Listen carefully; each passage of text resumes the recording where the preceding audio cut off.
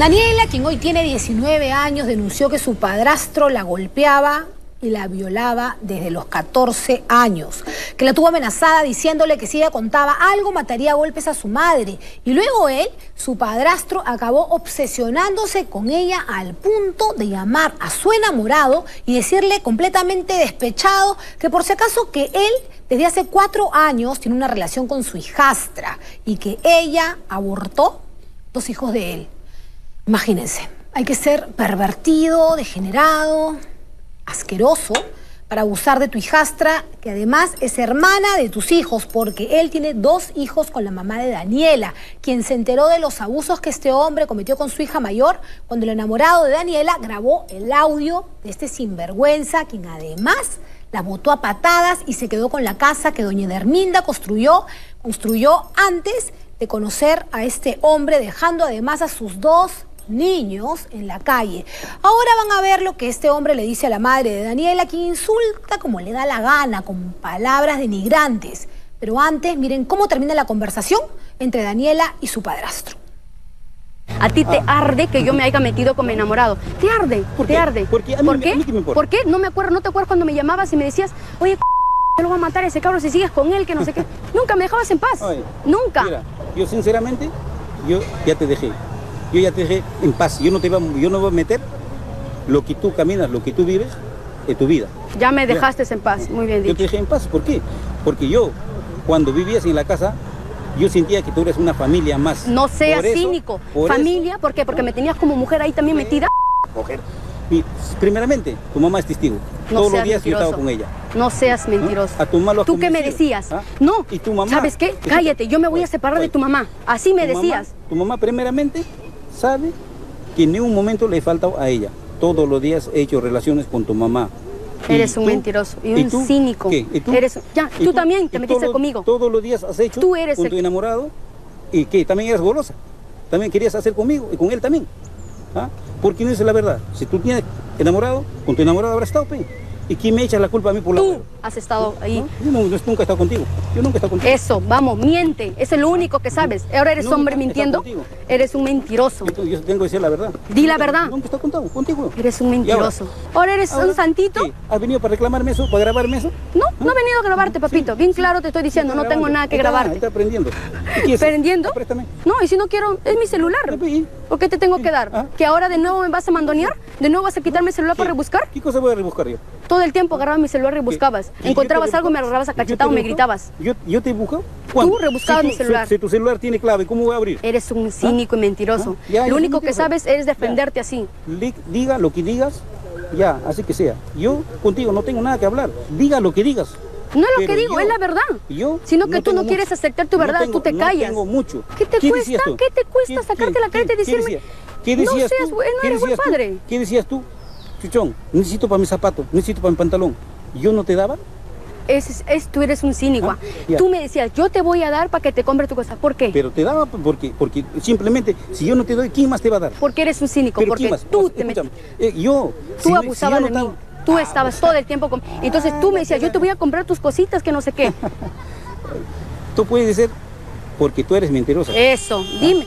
Siempre vas a decirte que yo soy la mentirosa, siempre. Tú puedes decir muchas cosas. Sé hombre y di la verdad. Eso. ¿Sabes cómo? Se te ve la cara ahorita que no sabes ni qué decir porque lo único que sabes es mentir. Después de tantos años de vivir bajo las amenazas de su padrastro Daniela, se sentiría respaldada y eso la impulsaría a enfrentar el infierno que vivió durante cuatro años al lado de este hombre, pero una profunda e imborrable herida la marcó para siempre. Él me compraba, me compraba a veces este, un pantalón, unas zapatillas, así me traía y me traía algo. Y yo le decía, gracias, ¿no? Pero no lo recibía de buena amabilidad porque sé que después cuando estamos a soles me decía, yo te compro. Y así no me quieres obedecer a mí. Y entonces este, mi mamá, a mi mamá no, pues mi mamá siempre decía, no, yo le compro porque la quiero, tienen que tener sus cositas, no sé qué. Y yo a veces decía, ¿por qué miércoles no dices la verdad? Me, yo me quedo callada y dentro siempre tengo una rabia a ese hombre que porque por su culpa viví un infierno y, y a veces quiero vivir tranquila o quiero despejarme y no puedo porque a veces me trae esos recuerdos. Me trae y yo pienso ahora que La mayoría de los hombres son así, que pegan, que gritan. No puedo vivir en paz. Ya, pero no todos son así. Pero es, es entendible lo que tú estás sintiendo. Pero en el camino, Daniela, igual vas a empezar a encontrar gente diferente. Lo que pasa es que evidentemente es lo único que conoces. Y a eso, que tu papá no haya estado contigo, peor todavía. Porque uno piensa y dice, todos deben ser iguales porque es lo único que conozco y lo que has conocido seguramente es lo más monstruoso que una chica puede conocer, que una mujer en realidad, más allá de que tú hayas sido muy chica y tengas, hayas tenido 14 años desde que este hombre empezó. Pero lo importante es que se lo dijiste a tu mamá, tarde, pero se lo dijiste. Era un terror vivir ahí. Yo no sabía cómo salir de esa casa, no tenía escapatoria, solo paraba ahí. Mi mamá para mí era, o sea, es para mí todo mi mamá porque es la única que tengo. Tendré tía, pero no es igual porque yo he visto que ella es la que me ha sacado adelante, a pesar que mi papá no se echó cargo de mí, ella me sacó adelante. ¿Y tú sabes quién es tu papá?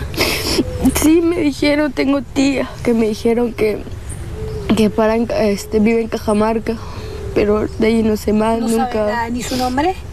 Este, sí, su nombre es este Orlando. Sea, sí tienes el apellido de tu papá. Sí, pero nunca me firmó. Orlando Marrufo. ¿Y tú alguna vez te has puesto a pensar en él? Yo sí, porque a veces decía, ¿por qué no está acá? O a veces me iba a un ladito, lloraba y decía, de repente si él hubiera estado a mi lado protegiéndome, no hubiera pasado esto. No hubiera estado viviendo todo este terror. Ya no lloré, ¿eh? ¿Y el papá? ¿El papá de Daniela? Desde tampoco, no sé nada, que desde que se fue, dicen por familiares que está en Cajamarca, pero de ahí no. Con él nunca tuve problemas, nunca pueden soltarme o gritarme o golpearme, jamás. Simplemente se borró. Sí, simplemente se borró y se fue. ¿Y lo amaba? Ay, sí. Pero doña Derminda años después volvió a creer en el amor sin imaginar que con Percy Chuchón Vega conocería el infierno. Por eso, cuando su hija le confirmó que su padrastro abusó de ella, doña Derminda, nunca lo dudó, pues cuenta que con ella hizo lo mismo. ¿Usted en algún momento dudó de su hija? No. Su hija le contó. No, señorita. ¿Por qué? Porque yo sé que mi hija me decía la verdad. ¿Él la ha violado en algún momento? Cuando yo ya no quería estar con él, él me a la fuerza me agarraba y me decía, no, tú eres mi mujer y tienes que estar conmigo, tienes que cumplir conmigo. Incluso yo una vez le dije, este, yo sé que, que sí puedo este, denunciarte por violación. Y me dijo, ¿quién te va a creer? Si tú eres una vieja, ¿quién te va a violar a ti? Nadie te va a creer, yo soy el padre de tus hijos. Así me amenazaba siempre. ¿Qué hizo que usted tomara la decisión de salir frente a la televisión y denunciar de una vez? Y dejar el miedo, aunque no sé si el miedo lo ha dejado, asumo que todavía No, tiene miedo. sí, Pero ¿qué ha hecho que usted ya Este, tome la valentía de, dejarlo y hacerlo? La injusticia, señorita, porque yo de- denunciaba y, y no nunca, nunca recibía yo ese apoyo de los policías o que me digan, pues si avanzó esa denuncia, jamás. Siempre cuando iba la policía me decían, este, está borracho, déjalo, ya lo va a pasar. Otra vez fui y me dijo una señorita policía que me atendió y me dijo, este, pero ¿para qué te has metido con un hombre violento? Asume, pues, asume como mujer. Y ¿Eso fue la que a mí yo tomé una decisión y dije, este, no hay justicia. Me voy a quedar, de acá saldré muerta con mis hijos o con mi familia, el daño que los haga, pues no hay justicia. Esa es la razón. Por eso las personas como Derminda y su hija recurren a nosotros. Impotencia, rabia y dolor es lo que uno siente al escuchar a estas dos mujeres, pero lo que van a sentir al escuchar a este cobarde miserable es realmente indescriptible. Este cobarde que hasta ese momento él juraba, pues, él pensaba que ellas dos estaban solas, pero no, ya no estaban solas. Volvemos con eso. Es de Ahora ya nada es 48, ahora es 7 días. 7 días pues estás posicionado en ese terreno, haces una constatación policial que tú vives, eres dueño. Ah, tranquilo, dueño, ahora eres el titular. Ahora, ¿quién te va a apoyar? Te cuesta a ¿Quién ti. Esa ¿quién casa no es tuya, no es tuya. Pero ¿quién ha dicho que es mío, señorita? Yo Tú lo has dicho, en el video tú lo has dicho y tú le dices, esta casa es mía porque acá el dueño es el que vive, sabiendo Señorita, según tú de leyes. yo Y tú le has dicho a ella, eso- burlándote, eso- no he terminado, no he terminado, estoy hablando. Le has dicho a ella que esa casa es tuya porque según tú, como tú vives ahí, la ley te ampara. Sabiendo tú que ese terreno no es tuyo, sabiendo tú que tus hijos están en la calle, eso no hace un hombre.